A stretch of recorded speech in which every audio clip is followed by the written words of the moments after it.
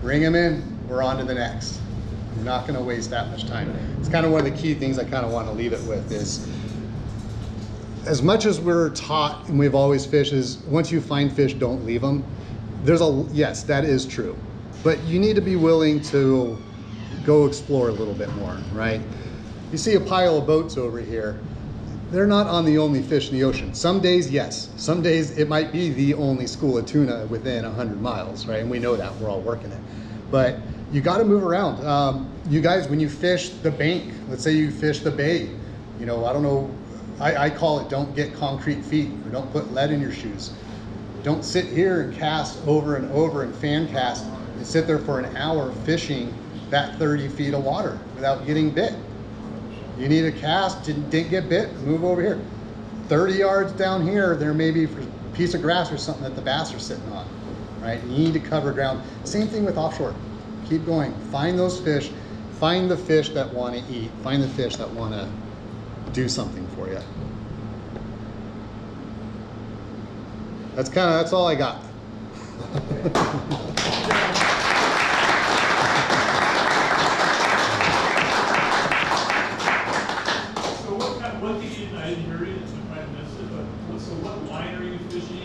Sure, I didn't talk about that at all. Um, Yeah. you know, I was trying to get more about the hows and, and, and why.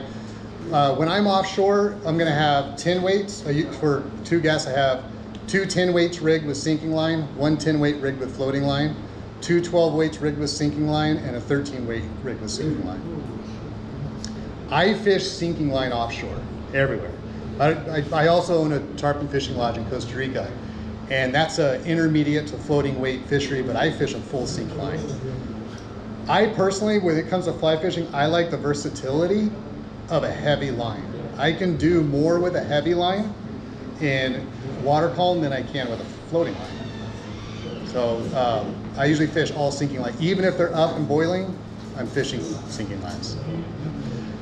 I do keep a floating line with a popper, so when we get in those patty situations of Dorados and Yellowtail and they're doing it, can't beat that. The other thing don't ever pass up is a popper with a sinking line. Okay? If, if we're ripping fish and having fun and I want to try something different, I'll grab a client's rod. I may have eight feet a leader. I'll add four more feet on and I'll put a, a Bob's popper on there. And I'll tell them to cast it out. I'll say, wait, leave it, let the belly sink. I'll throw a couple pieces of chum between the boat and the fly. And it goes blump, blump, and it dives down and they go ape shit over it. There's always something you can do there to try and try and persuade them to bite it. Um, 10 weight to 13 weight, full sinking lines, anywhere from 20 to 40 pound leaders. If they'll let me eat, if they'll let me fish 40, I'll fish 40.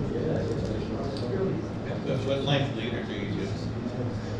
Uh, typically nothing longer than six to eight feet, unless they're being real picky. Well, the main reason for that is to not break rods.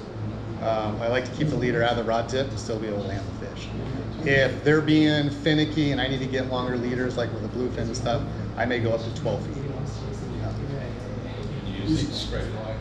I go straight line. yeah. I don't use any tapered leaders. Well, if I, I build a tapered leader. My 12 weight, my tuna rod is always going to be 12 weight. Whether it's a 12 pound tuna or a 40 pound, I want 12 weight. Um, 40 to 30.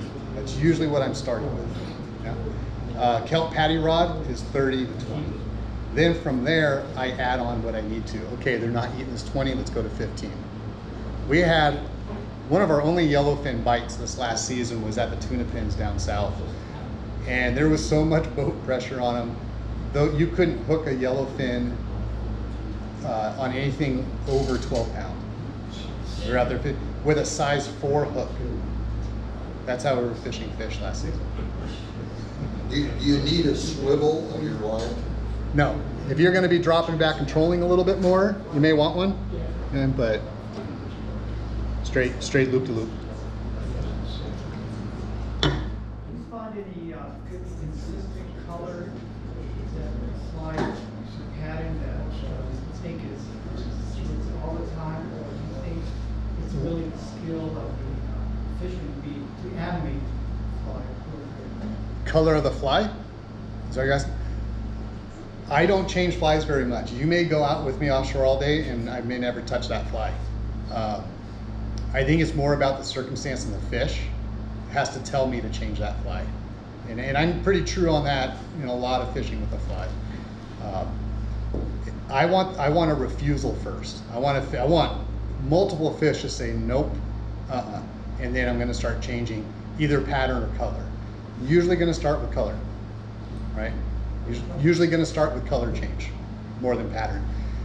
It's not too tricky out there. We're not. You don't need to match the hatch exactly. Um, again, with the chum and trying to get these fish excited or the, the, the right fish, they'll eat a hot dog. So I'd re- we want to find that right fish. Right? You clarify on the fly line, um, do you use shooting heads at all, or are they full sinking? full sink, full sink integrated. Yeah. Here's why I like that. Um, not so much out here, but at my at, in Costa Rica when I fish out there, I fish a river mouth on the ocean side, and when we fish that river mouth, you've got water coming out of the river, you've got a tidal water coming in, you've got a wind current the other direction. When you run a floating line to like a, a heavy shooting head, what happens is you don't know where your fly is. I've picked up my line before, and it's been like this under the boat, and my fly line was pointed that way, and the lower current dragged it this way. So a full sink just allows you to have more of a straight control with it.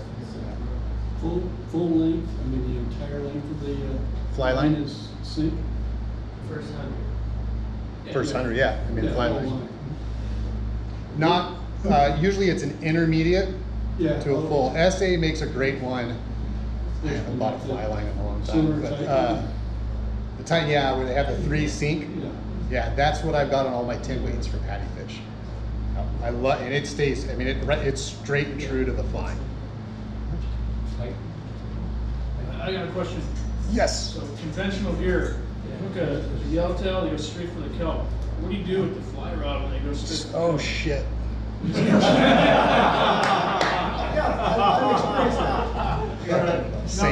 Nothing you can do. Now, now, that was a great question, okay. Um, early season springtime yellowtail on patties is my favorite time to fish yellowtail. We get bigger, we get nicer grade fish in and the pressure hasn't been on yet. Now, those fish aren't always up under the patty like I told you. So when we do that wrap technique, if I hook him on the up current side or up drift side, and I go into neutral, that boat's gonna drift around the patty and we're gonna drag it right to the patty. If if we're on our fifth drift on this thing and they keep going in the patty, as I run up to the wind,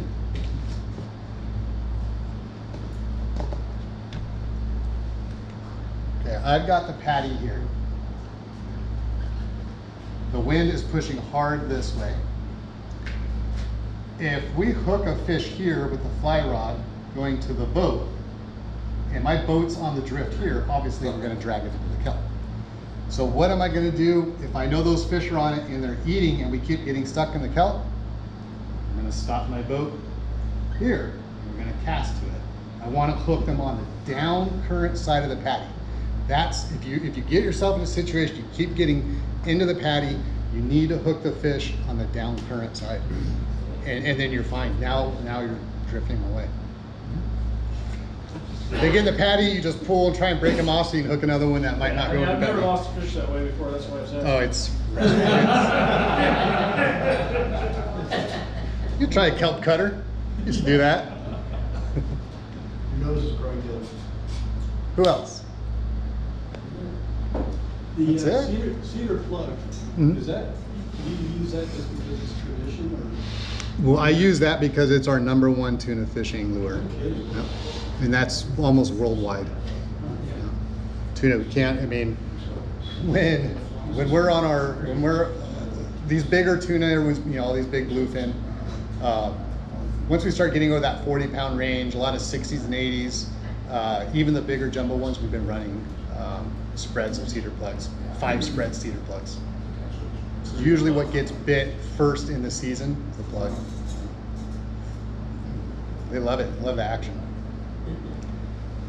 That's it in a nutshell, guys. Well, thank you. Thank you, Mike, for a great presentation. Uh, we'd like to have him come back. He does run uh, operations down in Costa Rica. You mentioned about tarpon fishing, so maybe we can schedule